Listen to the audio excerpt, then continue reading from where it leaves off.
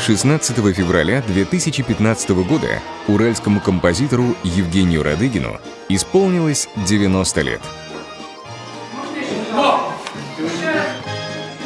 Глава региона наградил юбиляра знаком отличия за заслуги перед Свердловской области третьей степени и вручил автору знаменитой «Уральской рябинушки» правительственную телеграмму от президента России Владимира Путина.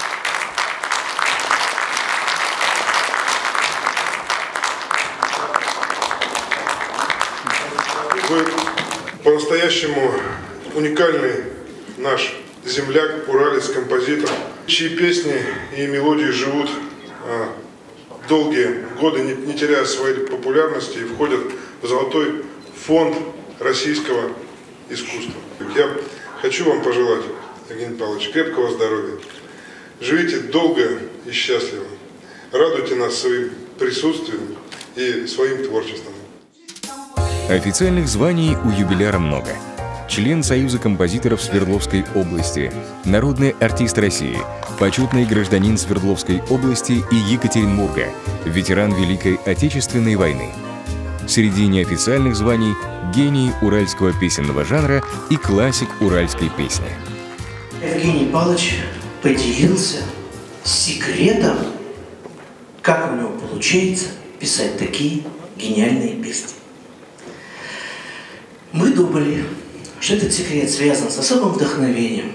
Мы думали, что это связано с особым состоянием и так далее. Оказалось все просто. Нужно утром проснуться и 200 раз подпрыгнуть на одном месте.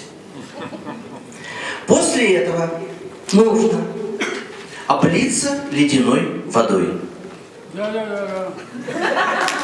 И после этого песни сами потекут из вашей души и станут народным достоянием. Цветет рябина, да.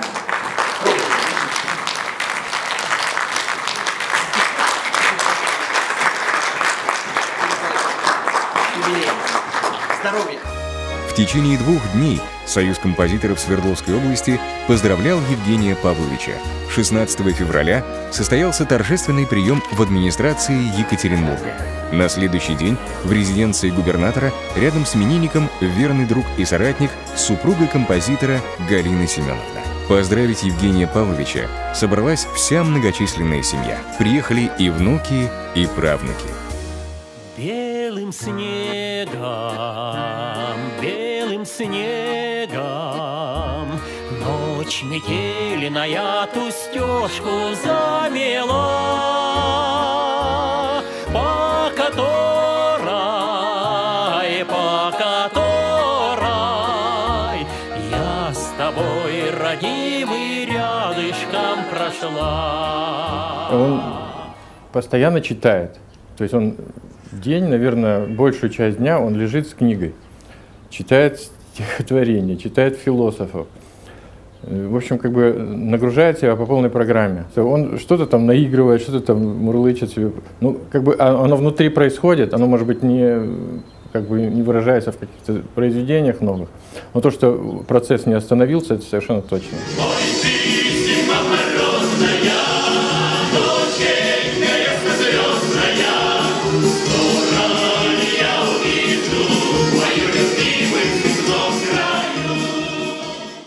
Истина известна мне.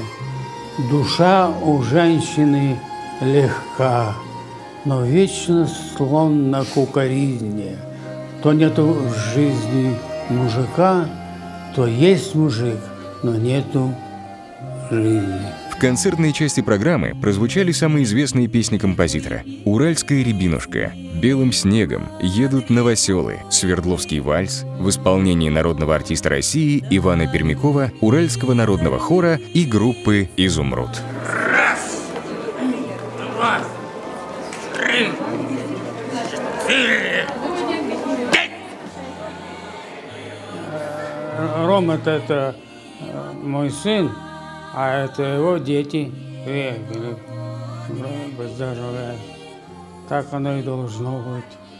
Все идет своим чередом. Собственно, мы сейчас живем в Москве. Вот сегодня приехали вот специально на дедушкин юбилей. Я с маленького их самого вот такого вот состояния я им пела колыбельные песни и «Уральскую рябинушку», и «Звездочка тучку задела».